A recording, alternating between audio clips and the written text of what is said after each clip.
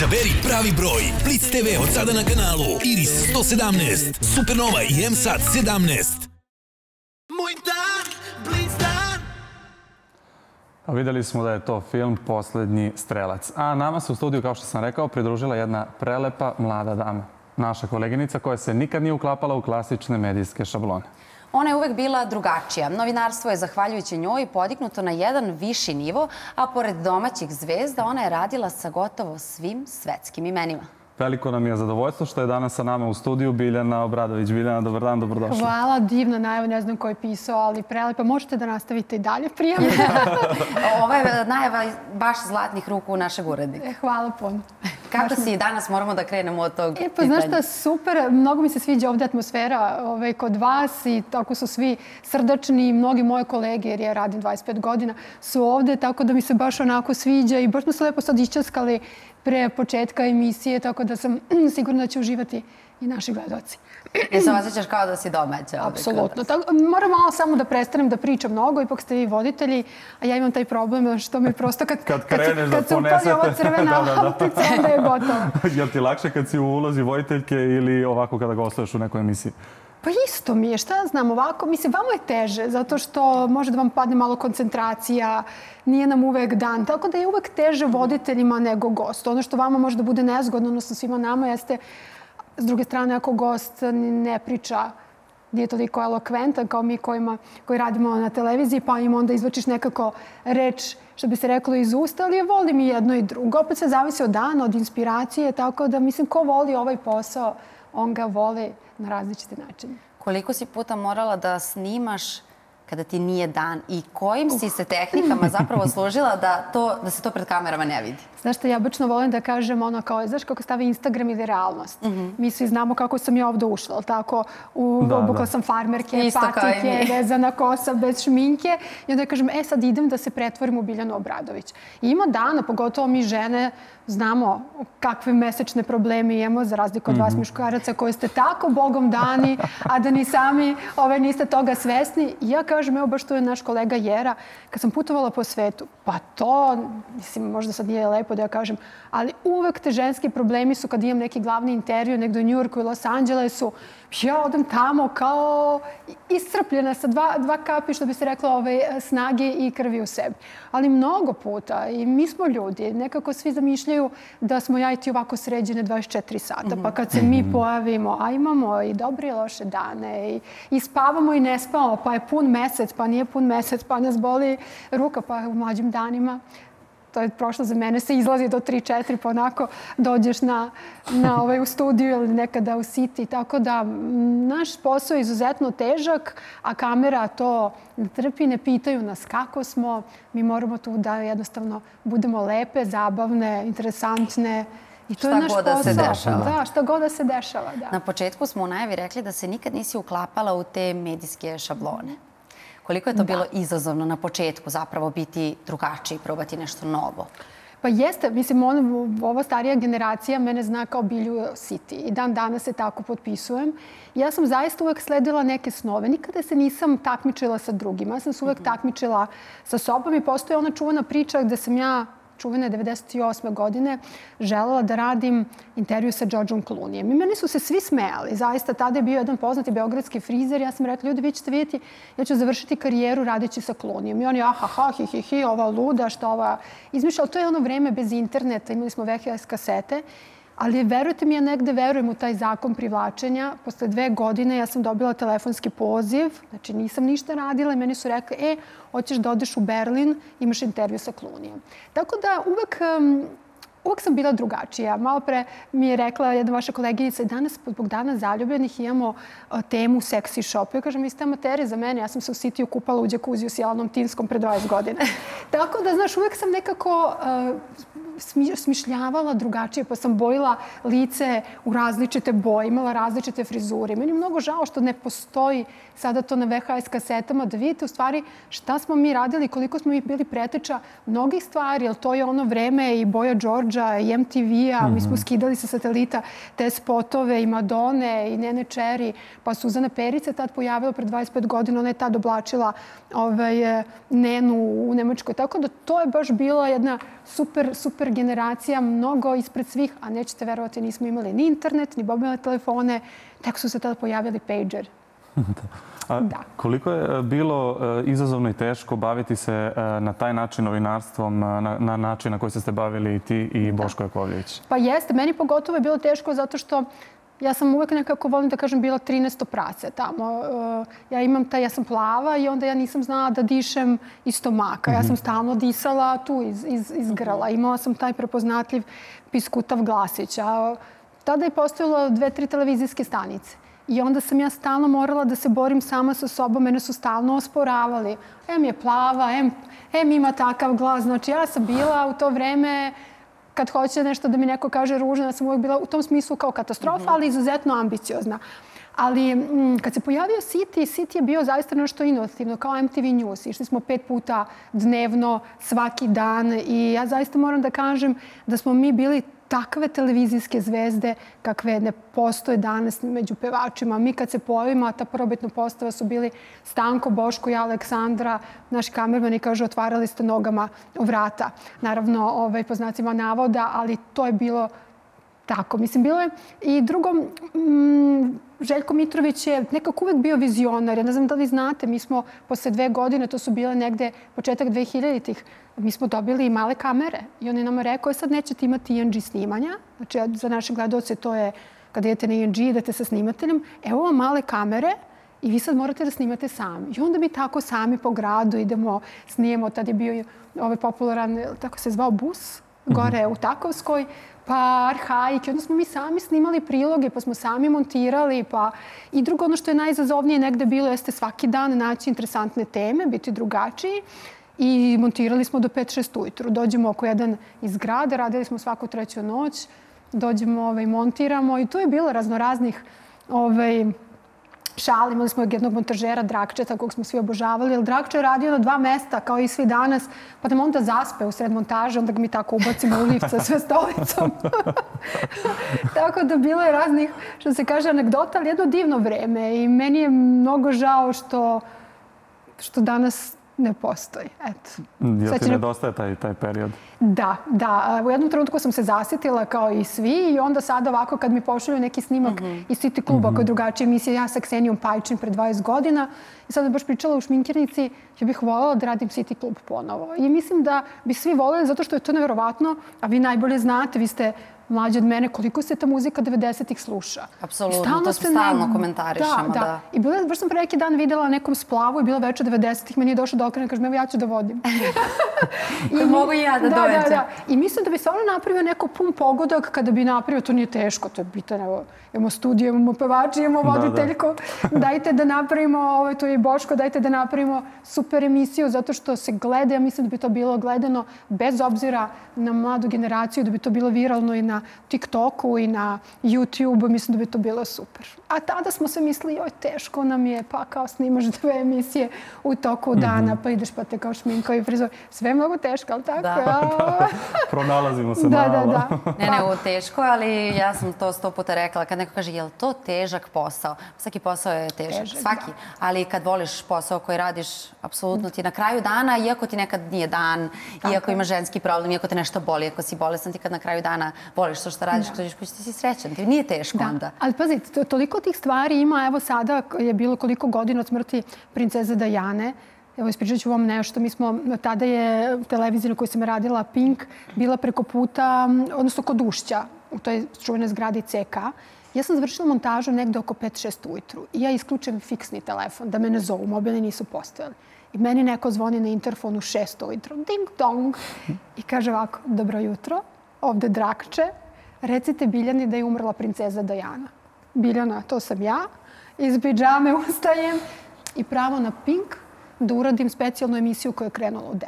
To je naš posao. Ali ta emisija kada je krenula u 10, niko ne zna da sam ja radila do 5, da sam ponovo došla da montiram, da sam morala da skinem sve sa satelita, da sam morala da prevedem, ali evo zato pričamo o tim nekim sada lepim stvarima i drago mi je što ima dosta mladih koji i starih ovaj, koji se i sete tog perioda, ovi mladi ovaj, vole da čuju te neke, stvari koje sam ja proživjela, doživjela i dalje, što se kaže, radim. Tako da nije lako, pa mislim i danas bilo bi lepše da sam ostala kod kuće, ali tako, ovaj, i vi isto, da smo negde sa Uh, ne društvom. volim da sam kod kuće, Ne. moram da priznam. A šta si ti u horoskopu? Neki blizanac? Blizan, aha.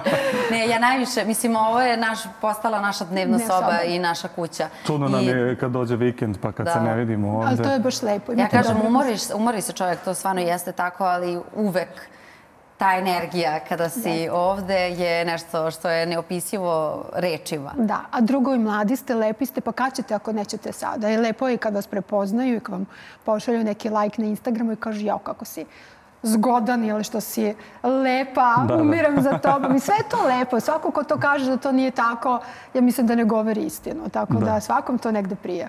Aleksandar da, najviše komplimenata dobija, moram da priznam. da ti kažem nešto, ja? Znaš šta sam primetila? Ja ponekad kada ove, uhvatim, ja gledam ove emisiju, ja sam videla da se njemu gošće udvaraju, ili tako? Tako je. Da. Dobro bilo je, Rijetko da. koja gošća sedne tako po sredini ili ka meni. Pa vidi, ja po sredini sve- da me kamera lepo hvata. Ti A, zato što ne, i znaš, da, ali... Ali oni uglavnom sve sede bliže Aleksandru. Pa ti si im konkurencija, neće da se mere s tobom.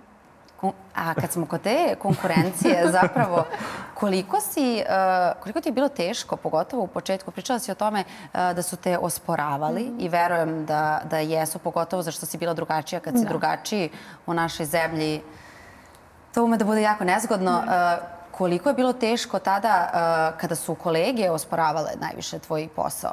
Kako si se Pa osetila šta, u tom nikada to trenutku? niko nije govorio javno, ali su, um, ja sam imala drugačiju startnu poziciju, kažem ti u smislu što sam bila plava, nežna, to su bili Boško Aleksandra, Aleksandra je došla sa radija, uvek su crnke nekako u prvom planu, znaš, nekako bolje izgledaju na televiziji od nas plavuša, Aleksandra ima savršen glas i onda ti si tako uvek negde po strani. Međutim, Gane Peciko, začuveni menadžer, on je bio godinama menadžer Goce Tržan, kad sam ja imala prošla audiciju, on je rekao, ljudi, ona će biti televizijska zvezda, vidjet ćete i svi su kao, pa dobro, okej, kao, ali pogledaj, mi, mi šta imamo ovde.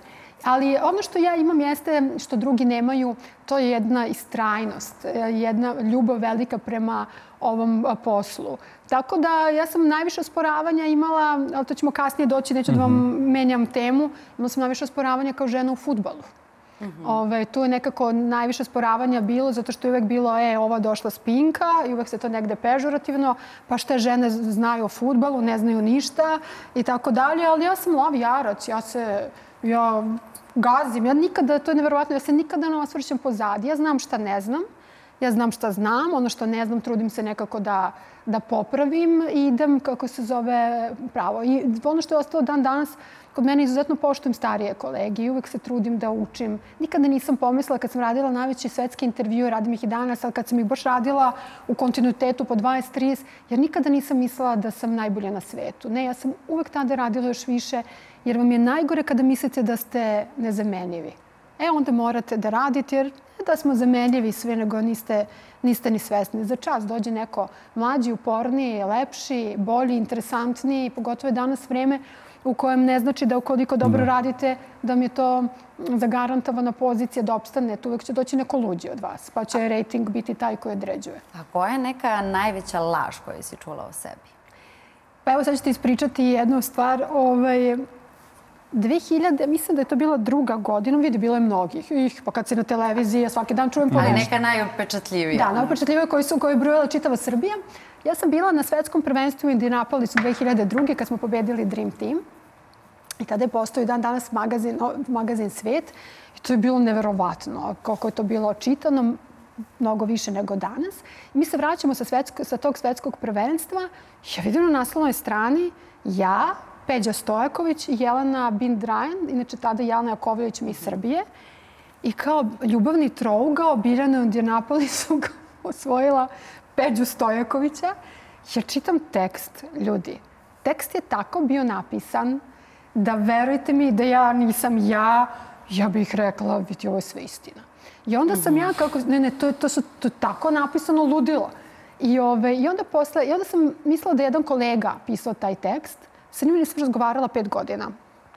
I svaki put kad ga sretnem, ja se sklonim od njega, zato što, verujte, meni su ljudi zaustavljali po taksiju. Ja sam tada izvala Janu Jakovljević i rekla je samo da znaš, stvarno to nije istina. Mislim, Ona je rekla, o, ne znam. Ja sam rekla, okej, možda ti ne znaš, ali ja znam, nije istina. Da. Peđu sam videla dva puta u životu, tada kada, smo, kada je bio Dream Team u Americi, onda Napolisu smo, smo sedeli u istom kafiću i to je bilo vreme i, i Danilovića i Lončara, svi se znamo odatle. I ove, ljudi, meni su zaustavljali i taksisti, bravo, mi navijamo za tebe. Ja kažem, ali nije. Znači, to je bilo, to je bilo nenormalno. Mislim, bilo je posle toga, ali ovo je bilo nekako najupečatljivije. Pet godina niste razgovarali. Ja sa tim kolegom i onda sam ga na kraju... A sad sa- razgovarate? On je urednik jednih jako poznatih dnevnih novina, ću kažem ko je.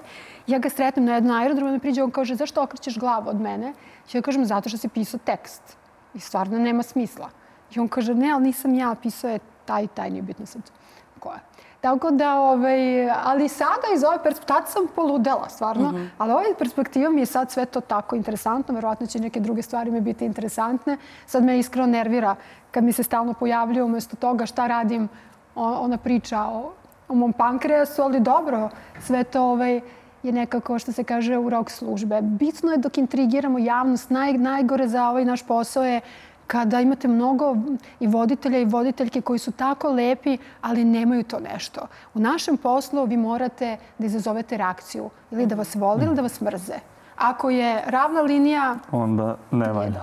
Da. Bolje i da mrze nego da nema kao reakcije. ruža bez mirisa. Da, bolje da te mrze, jer to je reakcija. Oni će da te gledaju jer te mrze. Drugi će da te gledaju zato što te vole. Da. Tako da, U, zapisat ćemo, da. je danas napravimo kao ma- mali master klas. da, da. Da. Moram sad da te pitam, ti vešto kriješ svoj ljubavni život već Da. godinama. Kako uspevaš? Pa znaš kako, kad hoćeš nešto da sakriješ, ti možeš da sakriješ. Kad hoćeš nešto da teško izađe... sakriti u, Pa u današnje jeste, vreme? nekad, nekad nije, nekada ranije ovaj, svi mi znao da pola ovih paparaca je nam, namešteno.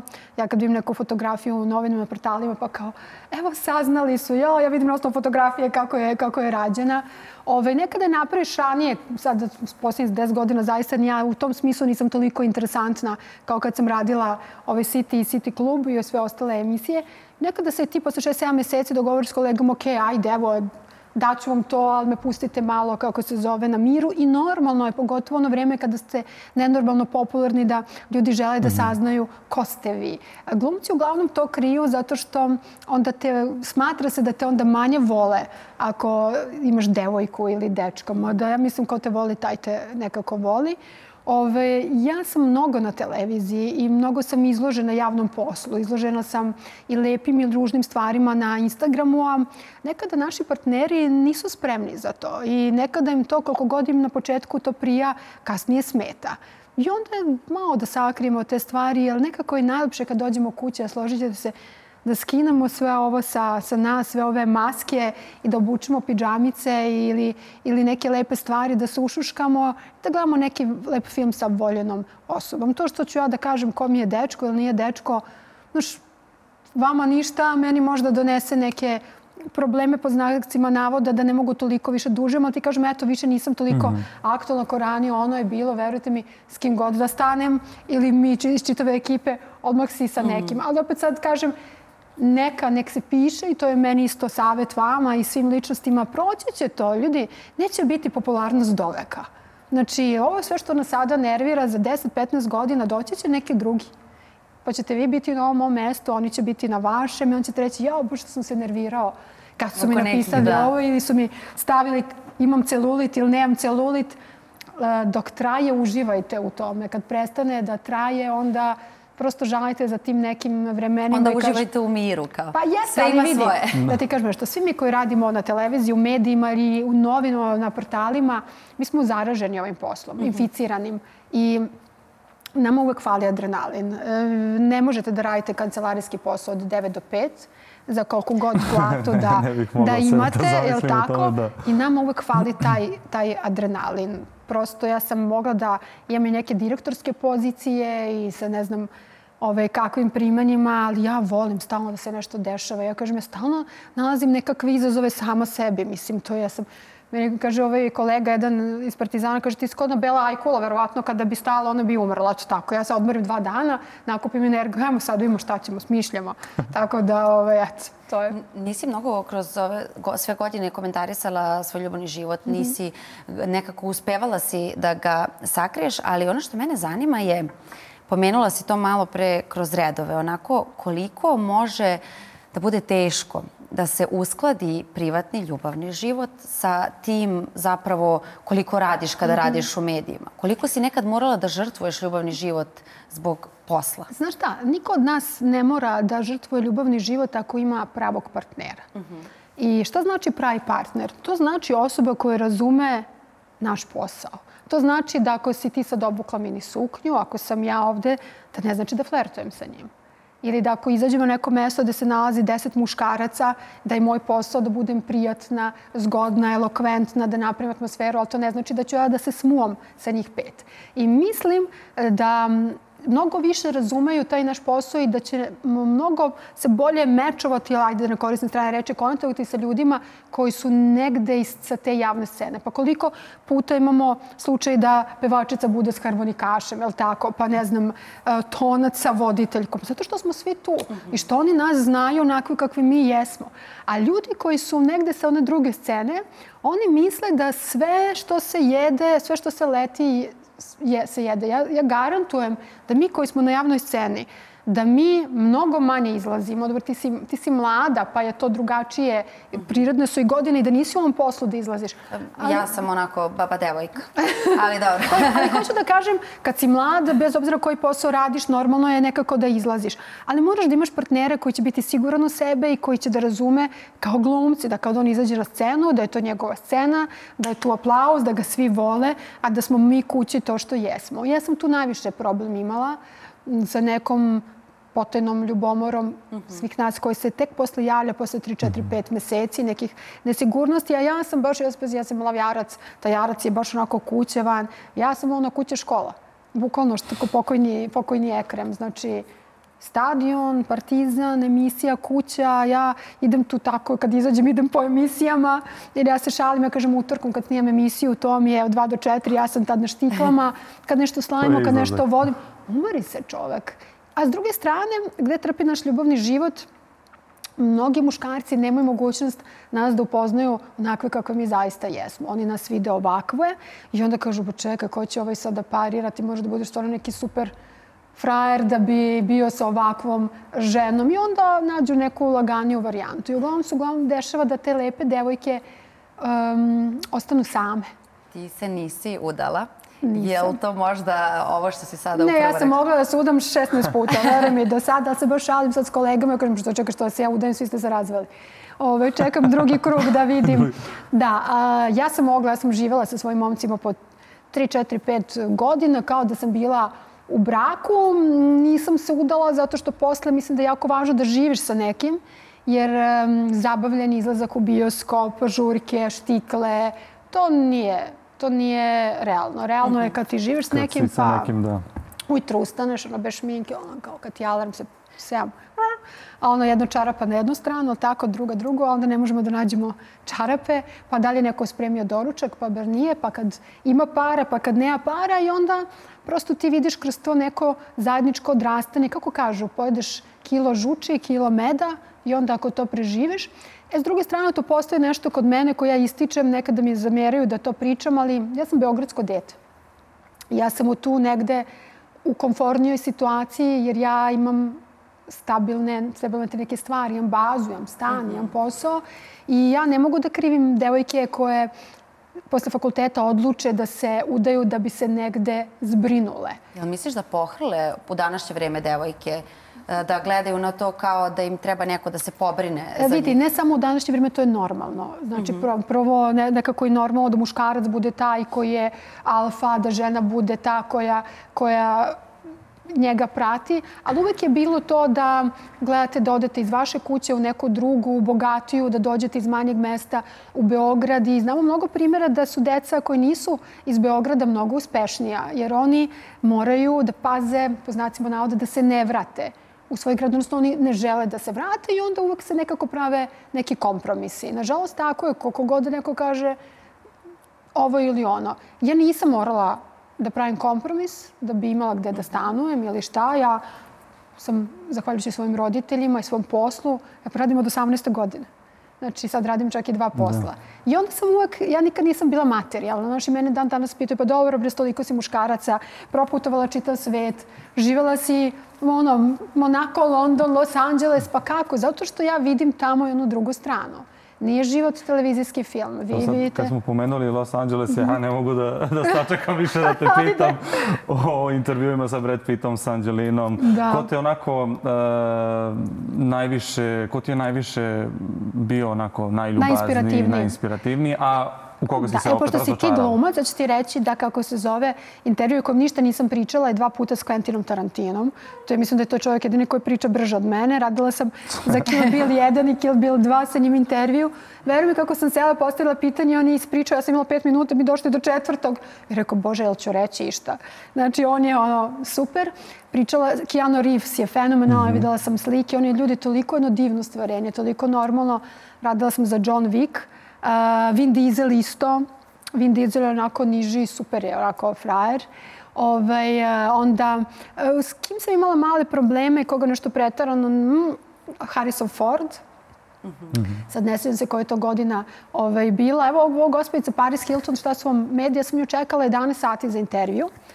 I napokon, kada je došla, birali smo u Hiltonu u Berlinu, ja sam ovako sedela na sofi i sad zamisli, ja sad sedim, ti sedneš pored mene, ti se meni ne obraćaš uopšte. Nju sređuju šminkeri, frizeri, još trebamo da počnem intervju. Kako se uključila kamera, tako je, oh, hi, my darling, how are you? Kao najbolje drugarice. Aha. A pre toga, Ništa, ma da. ništa. Ona je tu došla da ona odradi svoj posao. Ja se mislim da je da, kud je Ma da dan je Odradi ljutilo mi u ja tom da. trenutku pa ne, to. vidi, meni je, ja sam profima, mislim, ne očekujem ja od njih da pijem kafe. Sa njima, Da, ali kao neko poštovanje. nema, ja perisana sam od toga. Meni, moj cilj je bio da ja prva donesem i jedina intervju s Paris Hilton. Što znači čekati 11 sati? Znači, to je stvarno, ne znam sad da li bih, mm, možda, malo sam tako čudnjikava. Ove, znaš, prosto, ali samo pitaš, pa Bože, ko si ti ženo? Koja si ti folirantkinja? Ali okej, za tebe je sve, sve biznis. Znaš, onda Naomi Campbell je isto, nju sam isto dugo čekala. Njoj se, na primjer, za razliku od drugih, morala, njen tim je tražio da pošljem pitanje 20 dana ranije, što mi ostali nisu tražili. I onda ona tad je napustila onaj njen fashion cafe i tako neke stvari. I onda u toku intervjua kad sam ja malo krenula o tome, ona meni kao pa ti ne znaš ništa o meni. Ja kažem ne, ja znam, ali ja moram da vas provedem kroz neke stvari i kroz modeling, kroz ovo.